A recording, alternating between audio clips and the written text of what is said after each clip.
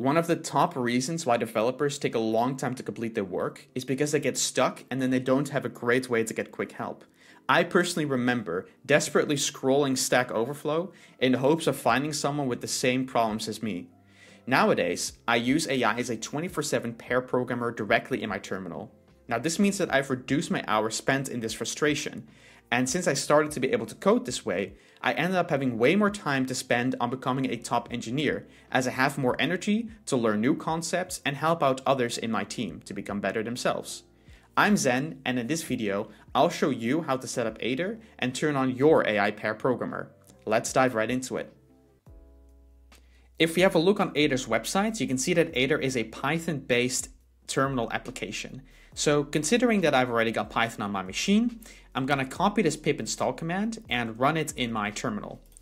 I recommend you to then open a folder where you've already got some interesting code to test Aider on. In my case, if I run ls, you can see that I've already got some Python files here. Instead of explaining what these Python files do, how about we just ask Aider to put it to the test? I'm gonna launch Aider by just typing Aider without any other parameters, and by the way, I already have the environment variable set up so that it can connect to my AI model. Once Aider has launched, we can add files to its context by typing slash add, and I'm going to use a star to add every file in my repository because my repository is quite small, so it's fine. Once all of these files are added, I'm just going to ask a very general question. What is the goal of this repository? And then with all of that context, Aider is going to answer that question. It simply says the goal of this repository is to create an AI assistant that can answer questions based on personal diary entries. And that's indeed correct. But this is just a very general question. Let's get into the code, right? On the left here, I'm going to open the file askgpt. And one of the first methods I see does not have a docstring. Generate OpenAI embeddings. Let's say that you're new to the AI world, you might not even know what an embedding is. So let's go and ask Aider what this method does and what an embedding even is in the first place. I can actually start typing generate and you will see that this method name appears in my terminal that I can just autocomplete with a tab. So Aider intelligently parses your code files as well, so you can easily ask questions about specific methods. So I can ask it, what does this method achieve and what even is an embedding? When it answers this question, it actually immediately generates a docstring. That's the way that I like to set up Aider so that it proactively helps me out, but you can of course configure it to just give text explanations as well. Here you can see that it adds the explanation as a docstring. This method generates embeddings for the given input text using OpenAI's API and then it says that an embedding is a numerical representation of text that captures its semantic meaning, allowing for comparison and similarity measurements between different pieces of text. And that's entirely correct. It's a really great description. On the left here, you can see that indeed that docstring was already added. And in fact, in this case, an automatic commit is created where Aider already creates a commit with a commit message that I can push straight to my repository.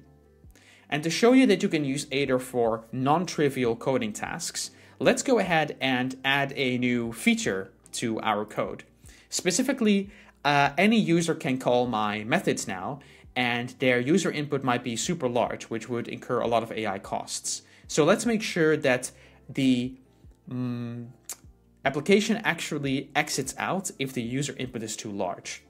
Let's go ahead and type out that wish. So I want the application to exit out if the user input within ask GPT is, let's say, larger than mm, 100 words. In this case, it's also going to again proactively include some code to actually achieve this. So in askgpt.py, you can see that if the question exceeds 100 words, which it does by just splitting the question with standard spaces, it will print that out and it will exit out the script. Now, I can actually modify this code to match the specific behavior that I want, but I think this is already an interesting approach. So we can go ahead and also ask it to test this script, right? Here you can see that it's trying to make me call the script with just a short question, but I want to test it with a large question and make sure that it returns an error. So let's actually ask it to do that. Let's test the Ask GPT script together. Specifically, I want to test that a large user input does indeed make the script exit out without an answer. And now what it actually does is it creates a new test file. So it can even do that. It can create new files for you. It creates a file test ask GPT where it will indeed in a subprocess run the ask GPT script and then it will assert that the return code is 1. Of course, I can also write unit tests for those specific methods, but I do like just having this kind of end-to-end test and just calling the actual script. So let's go ahead and accept creating a new file and then run that shell command as well. So you can see it's super proactive. It can even run those shell commands if you approve it. Now, if you check out the assertion error here, you can see that it actually failed to run the test successfully. It says here, the expected error message was not found in the standard error. So this is where the pair programming part comes in. This AI model is not going to create faultless code. So let's actually have a look at this test ask GPT file to see if we can find the problem here.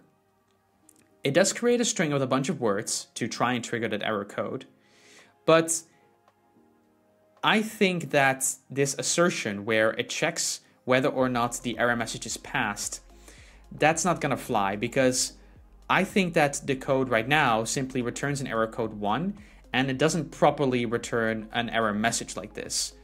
We can have a look and ask GPT to see if that's the case. So in here, let's try to find the code that it added. You can see here that it checks if the question exceeds 100 words, but it just does an exit with exit code 1. It doesn't actually pass a message in. So I'm going to go ahead and remove that assertion, and then we can go ahead and run test ask GPT one more time. You can actually use slash run to specifically run a command. So let's do python test ask GPT py. And now you can see that the test has passed successfully. So this is a great example of actually pair programming with AI. It's not faultless, but it definitely saved me some time in terms of creating this test. And of course, as I said before, you might want to prefer actually writing unit tests instead of this kind of end-to-end test actually calling the script. But of course, you can just go ahead and query the AI model differently or edit the test yourself. Now, you cannot just use it only for coding, you can also ask it for things like architectural improvements of your code. Let's actually do that. If we type slash architect, we can ask architectural questions. So I can, for example, say, review my code and give me two top recommendations for making it more scalable. Let's see what it comes up with now. So first of all, it's actually proposing to do asynchronous processing for API calls, which could be a good catch. I don't really have any async methods. Depending on how users are going to query this method, that can definitely help. And then it also proposes how we can potentially use async methods in here. And the second proposal is to do batch processing for diary entries, which I think is specifically done when the diary entries are first being pushed into the Cosmos DB. And indeed, I did not really batch them in any way, shape, or form. So these are some interesting proposals you can already try out in your code. And so you can even use Aider to just review your code and get some peer reviews that way, right? Which is very nice. So, I hope this gave you a great idea of how you can use Aider as your 24 7 AI coding companion, not to automate your code work, but to have a buddy that you can always ask questions to and get more context around your problem so you can solve it faster instead of being stuck in Stack Overflow for your entire working day. If you appreciated the tips in this video, I would love to hear how you will use Aider in the future in the comments down below.